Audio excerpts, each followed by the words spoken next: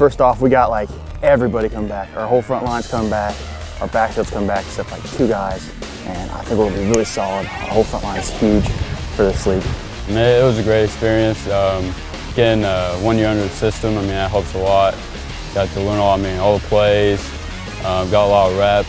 So, I mean, I'm definitely prepared for this year. We have obviously some pretty good skill kids with like Jacob Rhodes and Ethan Heller, and they're, they're dynamic, um, no question. But it is our, our ability to run the football and our ability to stop the run, so what they call the box, uh, that, that has me feeling really good about this team. Last year we were good in those areas, but we could always improve, and in some key situations we weren't able to convert some fourth and ones, some third and twos. That has me feeling pretty good. But again, long way to go.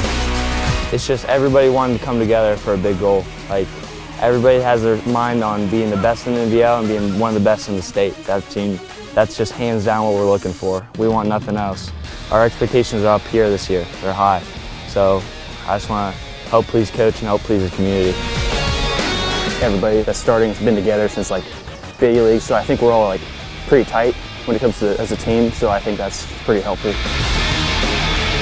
We made a big emphasis on finishing games this year, so that's going to be key for us. When the stands gets packed, when the rage cage gets packed, it just it just gets you going. And when the band starts playing and the beat starts going and we hit the field, it's just something else, I'm telling you.